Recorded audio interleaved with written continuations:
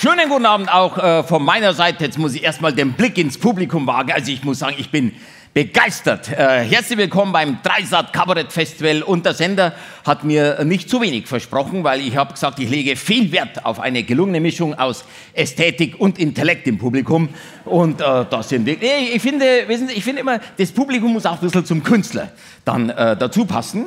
Äh, zumal äh, wir heute auch äh, einen feierlichen Anlass haben. Es ist tatsächlich so, vor 25 Jahren äh, bin ich das erste Mal in Mainz aufgetreten. Ja, und das ist natürlich, ich sehe mich da und seitdem.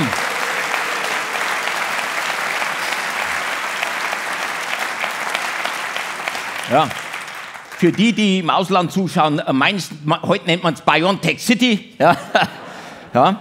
Nee, und äh, gut, ich äh, muss äh, fairerweise aber auch sagen, äh, es ist natürlich auch dem Zeitgeist geschuldet, dass ich heute hier bin. Sie wissen ja, wir leben im Zeitalter der Diversität. Das heißt, ein öffentlich-rechtlicher Sender wie Dreisat ist ja verpflichtet, sämtliche Ethnien, Stämme, Weltanschauungen im Programm abzubilden. Das heißt, ein äh, Dreisat-Festival ohne Beteiligung aus Bayern ist so gesehen überhaupt nicht denkbar. Ja. Zumal ja.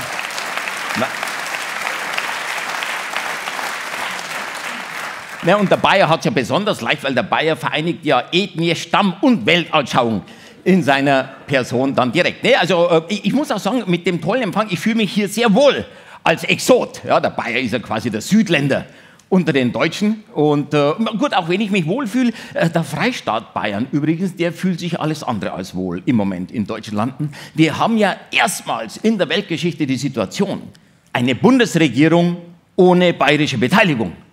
Und das nagt schon sehr am Selbstvertrauen äh, der Bayern. Ja, da kommt passender Applaus von links außen.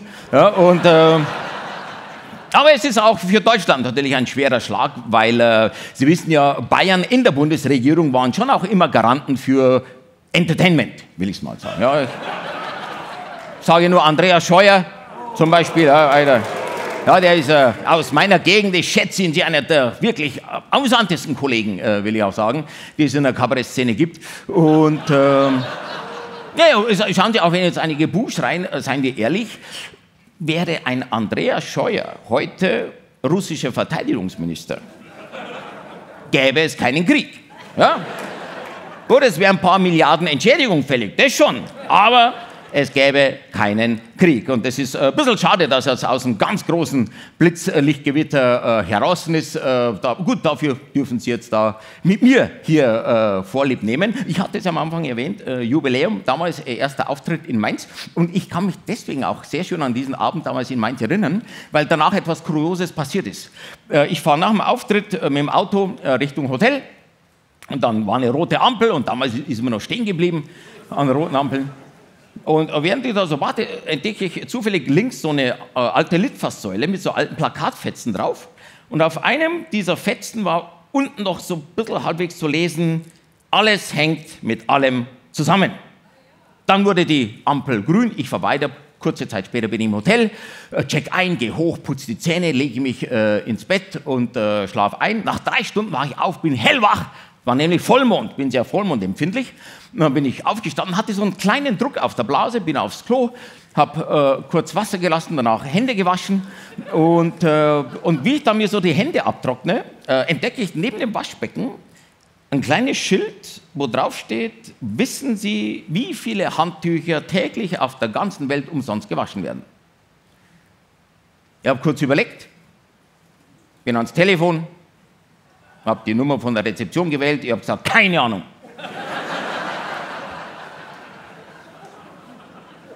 habe aufgelegt und bin dann wieder ins Bett. Aber an Schlaf war nicht zu denken, es war immer noch Vollmond. Und für so Vollmondnächte habe ich äh, ein äh, schönes äh, Präparat dabei, und zwar immer in meinem Rucksack ein Buch mit äh, so Fußballersprüchen.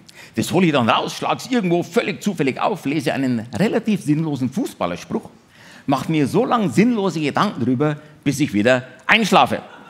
Nur diesmal hatte ich einen äußerst interessanten Spruch erwischt, und zwar das weise Zitat des weisen äh, Fußballphilosophen Detmar Kramer, das da lautet, wenn man am Sack ein Haar ausreißt, tränt das Auge. Und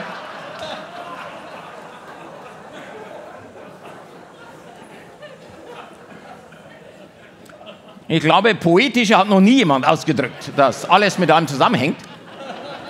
Da musste ich automatisch an das Plakat zurückdenken. Ja? Aber wenn wir jetzt im Hier und Jetzt landen, so wie die Dinge jetzt alle zusammenhängen, haut es ja irgendwo nicht mehr so recht hin. Ja, und darum beschweren sich auch immer mehr Leute. Und besonders intelligente Leute oder Leute, die sich zumindest für intelligent halten, sagen dann schon mal sowas wie, wir brauchen dringendst einen Paradigmenwechsel. Aber schauen Sie, wir haben dann auch gedacht, Mensch, sollten wir nicht erstmal vielleicht uns selber hinterfragen, bevor wir alles andere dauernd in Frage stellen? Ja, wenn ich bei mir selber anfange, habe jetzt auch über 4000 Auftritte hinter mir, immer Schema F. Komm raus, Leute sitzen da, an einem normalen Abend rede ich ungefähr zwei Stunden, gehe dann ab, das war's dann. Und irgendwann habe ich irgendwie das Gefühl gehabt, sag mal, war es das wirklich schon? Und wissen Sie, was mir dann mal aufgefallen ist? Nach so vielen Jahren auf der Bühne, ich habe eigentlich nie etwas über das Publikum erfahren. Das war für mich so Irritation. Ich habe gesagt, Wahnsinn, ich gehe in drei Jahren in Rente und weiß immer noch nichts über das Publikum. Wie leben Sie? Wie geht's Ihnen? Heizen Sie schon mit Wärmepumpe? Haben Sie eine Photovoltaikanlage auf dem Dach? Ich, also all diese Tourneejahre, die haben mich scheinbar komplett oberflächlich gemacht. Ich habe es nicht mal geschafft, ab und zu in mich selber hineinzuhören. Und dementsprechend habe ich es nicht mal geschafft, mich selber ein bisschen kennenzulernen. Mir, ist zum Beispiel erst vor relativ kurzer Zeit so richtig bewusst geworden, so vor Leuten auftreten, das liegt mir überhaupt nicht. Ja, wirklich. Bin doch total nervös, kann man keinen Text merken, schaffst nicht mal, dass ich jemand in die Augen schaue. Und, und, und das ist mir nie aufgefallen. Aber wissen Sie, was noch schräger ist? Dem Publikum ist es auch nie aufgefallen. Ja? also.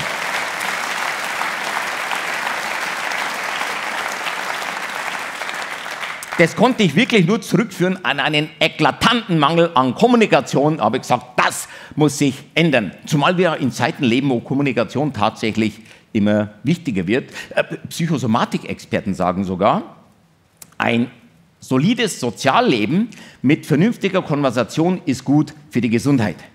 Während hingegen kritische Menschen, die neigen zu chronischen Entzündungen. das würde bedeuten, als Kabarettist lebt man gefährlich. Ja, weil da ist ja das kritische Denken äh, quasi systemimmanent. Ja, aber da sagen eben diese Psychosomatik-Experten, das schlägt irgendwann voll durch aufs Gemüt und daraus können dann, wenn es blöd läuft, wirklich tatsächlich entstehen äh, äh irgendwelche äh, Kreislaufbeschwerden und sogar Herzkrankheiten. Und äh, jetzt werden Sie lachen, ich habe zufällig vor drei, vier Wochen Routinecheck beim Arzt gehabt, dann stellt er bei mir fest, ich bin allergisch gegen Herzkrankheiten.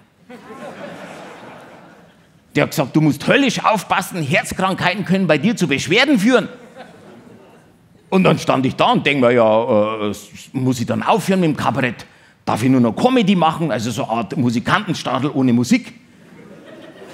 Ja, aber dann hat mir doch der Ehrgeiz gepackt. Ich habe gesagt, nein, du musst diesen Spagat hinkriegen zwischen Kabarett einerseits, gesund leben andererseits. Nee, weil Kabarettist sein macht wirklich sehr viel Spaß, kann ich zugeben. Weil wissen Sie, was das Tolle ist als Kabarettist? Du kannst hier vorne stehen und du kannst sagen, was du willst.